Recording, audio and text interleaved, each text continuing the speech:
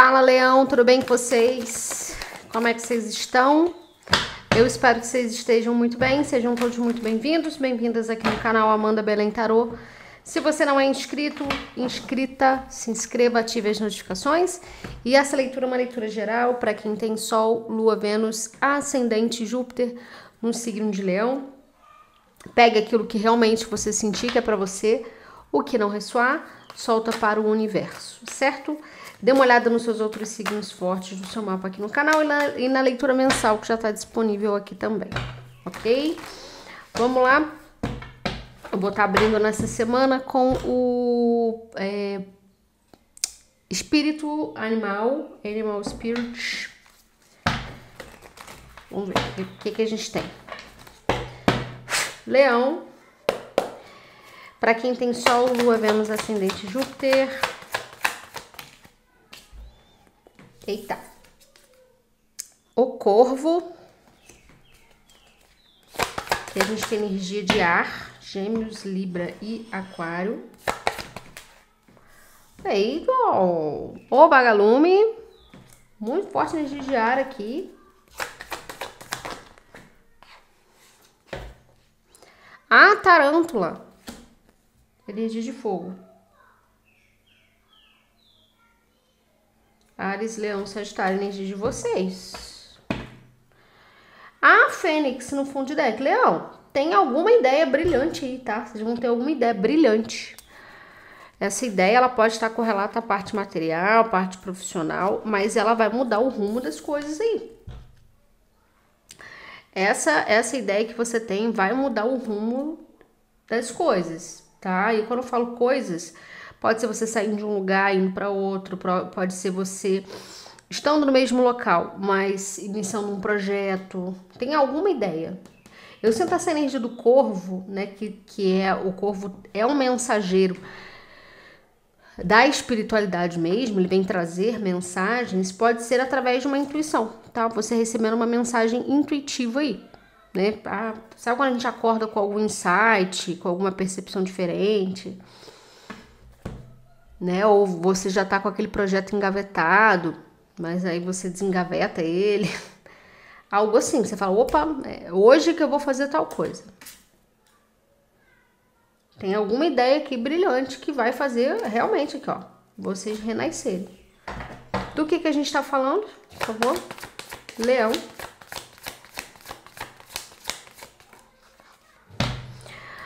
Se a serpente, serpente d'água, serpente marinha.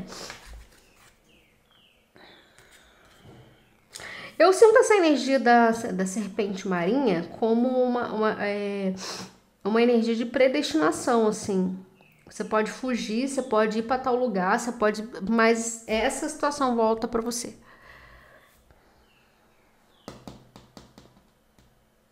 Tem uma coisa de fertilidade aqui também, de crescimento de proteção, tá? A estrela do mar, o pavão, tá? Então tem essa estrela do mar com o pavão, é como se você, ó, elefante, o urso e o lobo, é como se você tivesse uma oportunidade de liderar alguma situação, né? De estar à frente de alguma coisa E eu não falo assim à frente de todos, né? Mas você tendo um diferencial, né? Então vamos supor, ah, dentro da minha cidade, todas as pessoas da minha área fazem tal coisa, especificamente. Mas eu quero inovar, eu quero fazer algo que ninguém nunca fez. E aí talvez você mude de cidade, mas seu nome fica marcado naquele bairro, na cidade. Sabe? Então tem assim, alguma ideia, o, o Leão, que vocês vão ter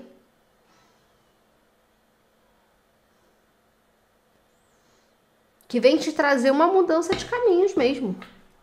E não é assim somente uma oportunidade, ó, alguém me trouxe uma oportunidade. Eu sinto que isso até acontece, mas é um complemento de algo que você já estava imaginando aí, tá? Interessante. Vamos ver com o tarô da luz. O que mais que a gente tem?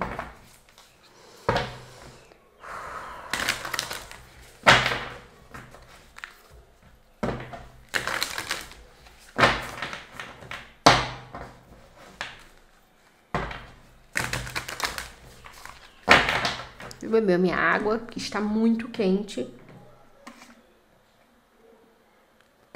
Muito quente. Calor, tá abafado, não tá. Aqui pelo menos não tá aquele sol, mas tá um, um abafado. Vamos ver. Então é como se assim, olha, Leão, agarra essa oportunidade que vocês vão receber aí. Entendeu? Pode ser alguém apoiando a tua ideia. Né? Às vezes você tem uma ideia, mas você não tinha apoiadores, não tinha parceiros, né? Se for dentro da área material, profissional, agora você vai ter, tá? O que mais que a gente tem? Leão.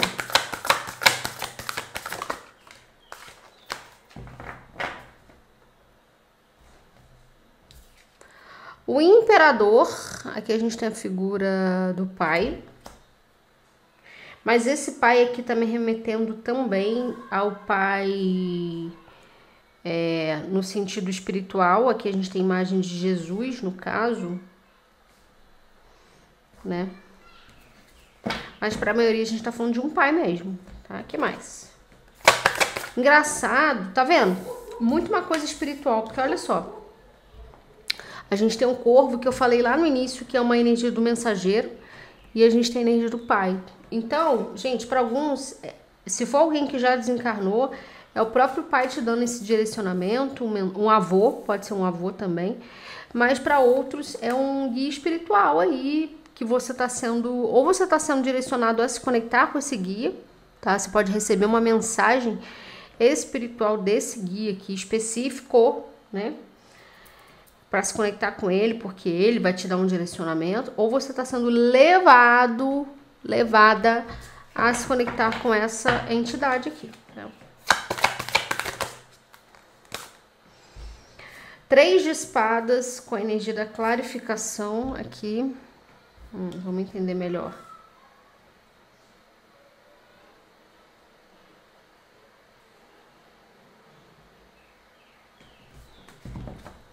Hum.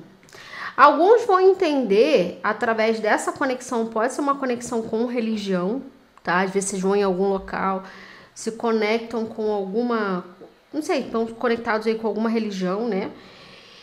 E, e aí, sabe quando uma entidade, se for dentro de centro, não sei, vocês vão receber aqui uma confirmação ou uma, uma percepção sobre, por exemplo, um pai que não tá mais aqui, por que, que por tanto tempo, fulano, eu carrego essa dor aqui dentro de mim, esse sofrimento, eu, eu, eu tenho uma angústia que eu não sei explicar, ou eu sinto que eu preciso sempre fazer isso pelas pessoas, eu sempre, eu sinto que eu sempre preciso é, estar à frente, assim, para ajudar as pessoas. Por quê? Sabe? Então, tem uma coisa aqui de missão, tem uma coisa de propósito, mas eu sinto mais que é uma questão de missão que você vai descobrir do porquê que você tem que estar tá fazendo exatamente isso que, tá, que você está fazendo ou uh, ir para essa situação.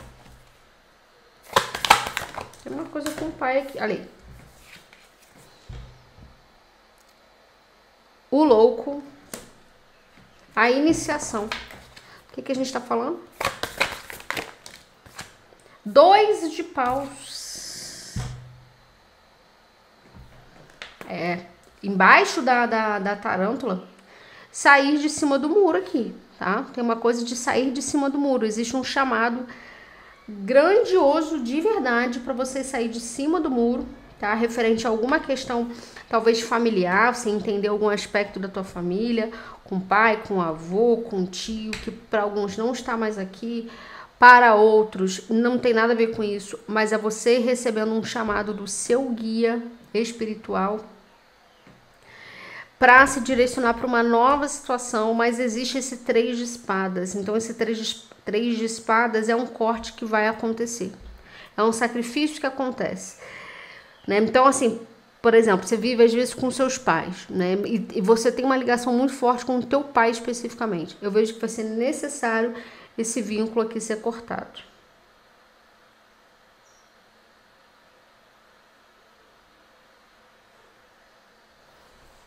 Ou você não supera a perda de alguém. Tá? Tem uma coisa de não superar a perda de alguém.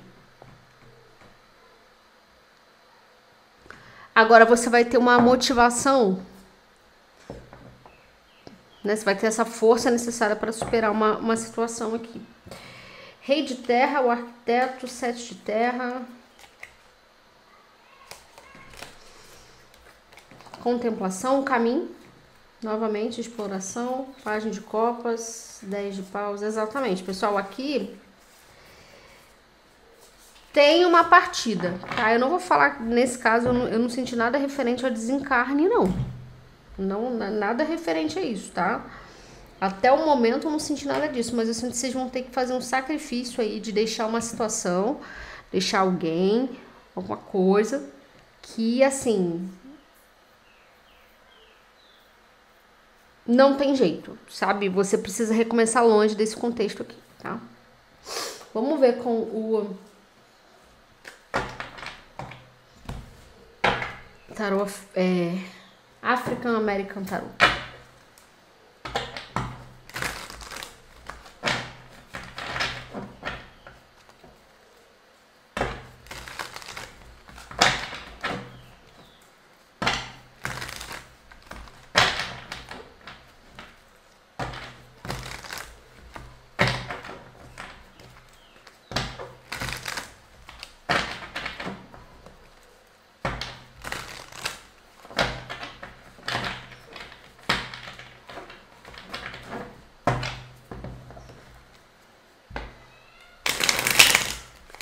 Leão.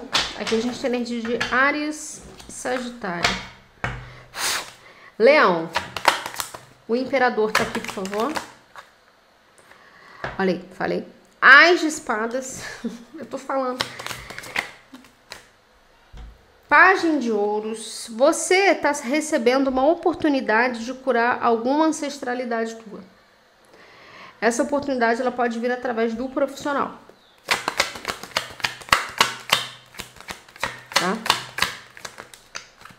Nossa! Só foi eu falar. Oito de ouros através do teu profissional.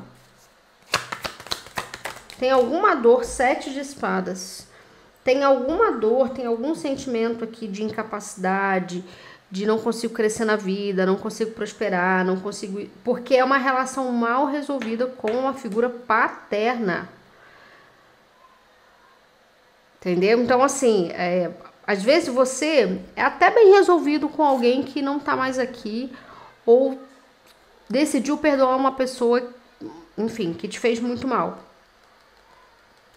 Só que você perdoou, mas você não cocriou uma nova, não tá conseguindo cocriar uma nova realidade porque você não vê uma oportunidade. Então aqui eles estão falando o seguinte: Ouça a tua intuição aqui, porque eles estão te enviando o tempo inteiro sinais para você manifestar alguma coisa diferente na tua vida.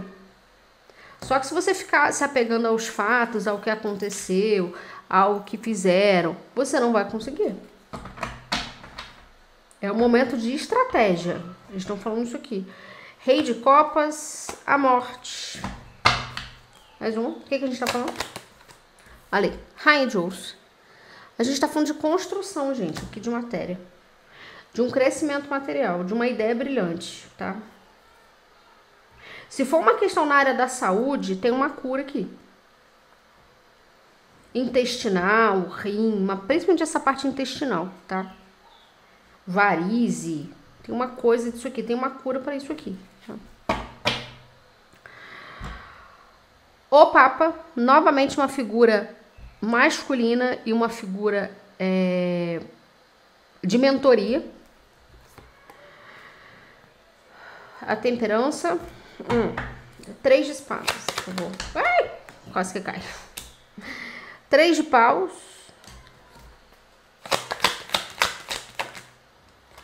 Ais de paus.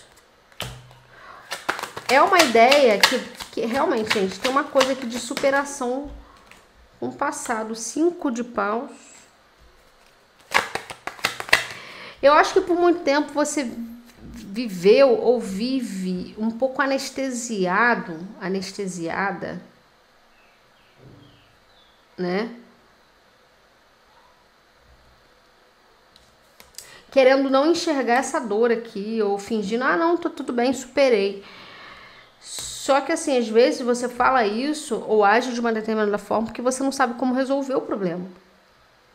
Então aqui eles estão te enviando, estão te dando uma força aqui para você resolver, porque você precisa resolver, porque você tem algo grande a cumprir aqui. Você tem um trabalho bacana, você tem uma prosperidade para atingir, você tem um negócio para abrir, você tem alguma coisa, um caminho diferente, mas acontece, isso só de fato acontece aqui, tá? Quando você consegue visualizar, né, expandir a sua consciência sobre essa dor aqui que você carrega. O diabo, energia de Capricórnio.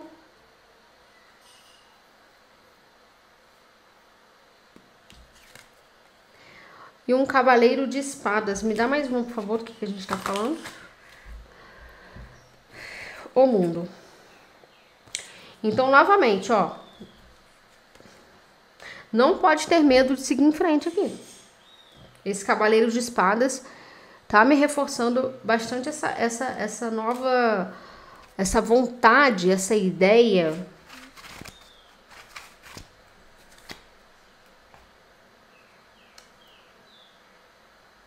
De encerrar um ciclo, dois de copas.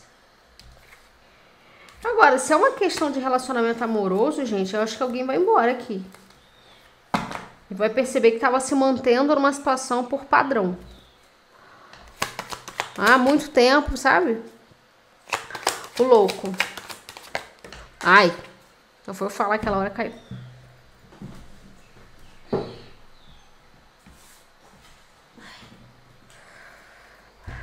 Quatro de espadas. Estratégia. Cavaleiro de paus. O louco de novo. Pessoal, aqui é um momento assim de recomeço de vida, seis de paus. Para alguns isso envolve até local, tá? Local, é, cidade, país, estado. É uma energia de recomeço de vida. Eu não vou falar que vocês vão recomeçar em todos os aspectos possíveis. Ah, trabalho. Para alguns, sim, uma mudança geral. Mas alguma coisa vai te levar para uma nova situação. Pode ser na próxima lua cheia. Estamos falando isso aqui. Não vou nem tirar mais nesse ponto. Dois de paus. Muito claro. A torre. Ih, a torre vai cair aí, ó. Acabou. Finalmente.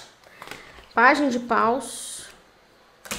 Vocês vão seguir aqui a coragem de vocês, os instintos de vocês. Vocês vão se aventurar. Seis de espadas, que é uma carta de mudanças, de transições. Vocês vão se aventurar aqui numa nova vida. Por isso que tem a tarântula, que fala de, de escolhas de caminhos, né? Sete de ouros. Mais uma. O que, que a gente tá falando? O dependurado. É, isso acontece, essa mudança acontece porque vocês despertaram. Vocês não vão para essa nova situação de olhos vendados, não. Vocês despertaram. Por isso que eu tô falando. Que nova situação que é essa, Amanda? Eu não sei o que que é. Gente, analisem muito bem, porque aqui a gente pode falar de profissional, transição profissional, de carreira. Você se questionando se você tá pronto para migrar de uma área para outra, entendeu? as pessoas que você vai ter que deixar, o círculo de amizade que você vai ter que fazer, é, você vai ter que deixar para trás, a família. Então, assim, tem uma, tem uma, uma análise profunda sobre esse seu novo caminho. Sete de paus, o eremita, quatro de ouros e um ais de ouros. É, para alguns isso aqui fala até de uma de um caminho sozinhos aqui, tá? Sozinhos. Vamos ver com o pergunte ao oráculo. Uma energia, por favor. Pense com a cabeça e sinta com o coração, e não o contrário.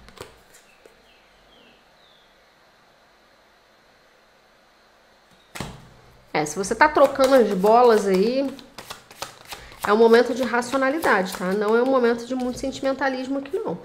Celebre suas vitórias, veja tudo que conquistou e alegre-se com elas. Gente, que leitura. O universo não pode entregar aquilo que não foi pedido da maneira correta.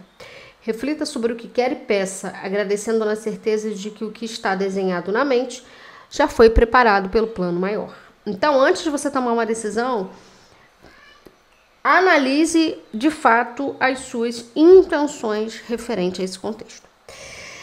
Certo? O... Aqui pode ser uma transição espiritual também, tá? Às vezes alguns saem de uma religião para outra, algo nesse sentido. Certo? O Leão, é isso que eu tenho para vocês. Em breve tem mais vídeos aqui no canal. Beijo.